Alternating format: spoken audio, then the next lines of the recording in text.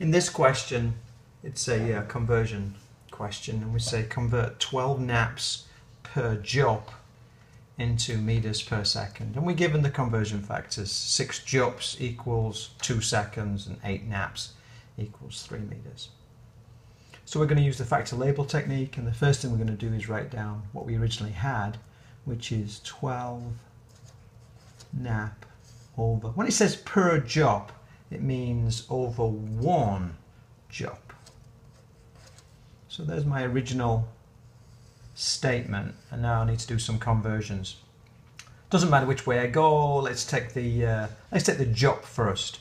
Jop is on the bottom here, and I'd like to get from jops into seconds. And the way I'll get rid of jops is by putting jops on the top here. That means the seconds must go on the bottom.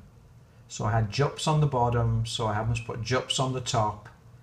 And if the jops go on the top, then the seconds must go on the bottom.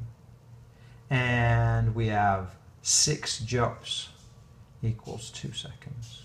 So I can cancel out my jops already. So now I need to do another conversion. I need to go from naps into meters. Nap is on the top here, so if I want to get rid of it, I have to put nap on the bottom there. And because I've used the bottom space here, the meters has to go on top.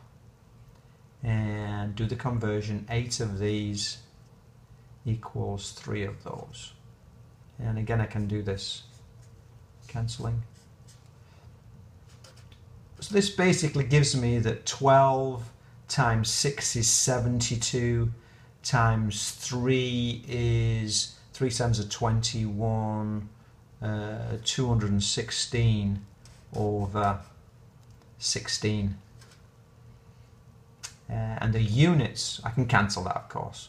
And the units will be meters per second